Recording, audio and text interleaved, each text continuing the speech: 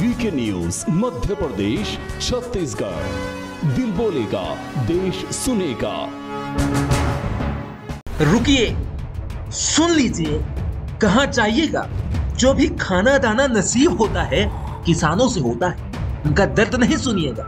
अरे सुनिए भारत में किसानों की दशा क्या है और इस दशा को क्या दिशा दी जा रही है, इस पर सवाल कीजिए, कुछ न कीजिए तो सरकार से सवाल कीजिए। पहले सत्तर सालों तक राज करने वाली कांग्रेस ने किसानों का खून नहीं चूसा क्या?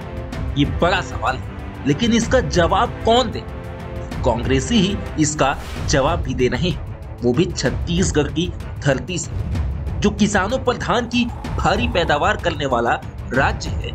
वहीं से किसानों के दर्द को देख लीजिए। समझिए, मोदी सरकार पर, केंद्र सरकार पर यही कांग्रेसी थे, जो किसानों के हितैषी बनकर टूट पड़ते थे। इन्हीं किसानों के दल को अपना दर्द बताते रहे। मोदी ने तो कानून वापस ले लिया, किसान घर भी चले गए। लेकिन कांग्रेसी सरकार के छत्तीसगढ़ के मुखिया भूपेश अपने राज्य में किसानों की कैसी दुर्गति कर रहे हैं, इसके सबूत भी देखिए। समझिए, कौन क्या है? ये क्या वाकई किसानों की हितैषी है? क्या वाकई इनके राज्य में किसानों के हालातों पर दिन के मात्र भी तरस खाया जा रहा है? इसका फैसला आप कीजिएगा।